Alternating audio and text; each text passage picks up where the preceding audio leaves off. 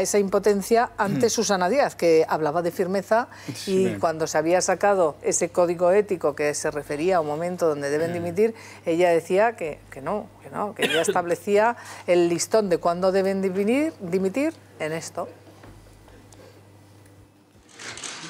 resulte imputado por el Tribunal Supremo o por el Tribunal Superior de Justicia de Andalucía, va a tener que dejar el escaño. Por eso estoy aquí. Por eso no me tiembla el pulso. Por eso mi palabra la cumplo, me cueste lo que me cueste. Y oímos una cosa, la cabeza alta, la mirada arriba. Este partido lleva en la médula la honradez y nadie le va a dar lecciones. Nadie de ética en este país, nadie. Pues es que lo han visto ustedes. En el momento en que alguien resulte imputado, va a tener que dejar este partido. Ya hay cinco imputados, los máximos gerifaltes del Partido Socialista en Andalucía, hasta que ha llegado ella, porque eran la cúpula del partido y de la Junta. Los que han gestionado millones de euros públicos han sido imputados. Y dice que llevan la honradez en el tuétano, pero la honradez parece que se le cambia de bando en el momento que están imputados y, se, y cambian de opinión, Esther. Es que me parece de los casos más clamorosos introducen matices. que yo me puedo imaginar. Cambiar por sus propias palabras. A ver, cambiar, no, no, claro, introducen matices, pero, eh, pero vamos a ver, con una, con una razón, yo creo. Primero, que pase la, la campaña electoral y segundo, que Griñán y Chávez no vayan a caer, y menos en campaña electoral, en manos de la jueza Laya. Esto es todo, chimpún. A partir de aquí, si el próximo auto que salga del Supremo o si sale un auto de imputación, estos señores se van del escaño sí o sí. Estoy segura de que, de que no, si la imputación ya está, la imputación ya, está. Pero como no hay auto que les impute un delito... Si se trata de establecer subcategorías dentro de la imputación... Es una, por eso digo que es un matiz. Yo termino enseguida, compañeros.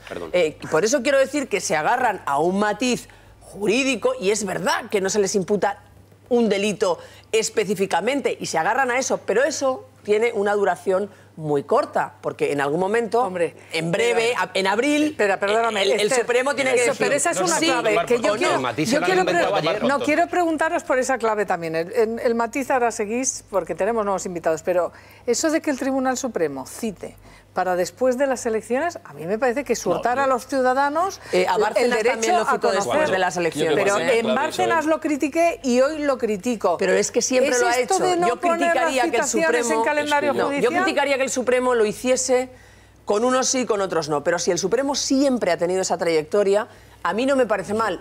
a ver, no hay tantos casos que lleguen al Supremo. Lo que no se puede hacer es que en un tribunal ordinario, en un TSJ, etcétera, se tenga eso el mismo criterio, porque con todas las corruptelas que están saliendo por todas las comunidades y, por todas partes, si no quieres ir a los tribunales en campaña, no delincas. ¿Tú crees que, la campaña electoral no queda marcada por esto? Pues aunque, no. aunque no se produzca el, hecho físico de que en campaña entren al Supremo. Años Imaginemos que de, esa declaración que se debía haber producido en tiempos normales, no electorales, inmediatamente, porque el Supremo ya se ha hecho cargo, ya ha tomado declaración previa a los peritos y ya dice que tienen que comparecer como imputados.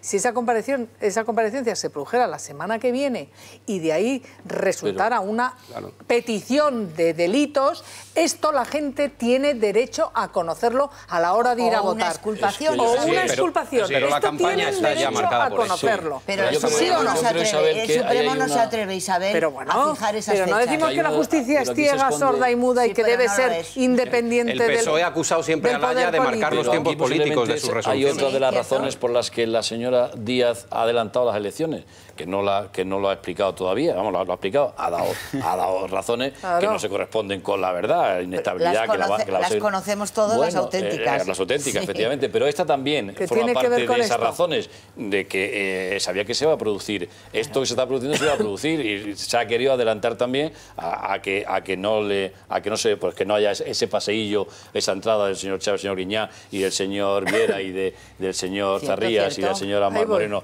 por, por el Tribunal Supremo y de los, como decía Chema, de los consejeros de, con esto, con esto en el Tribunal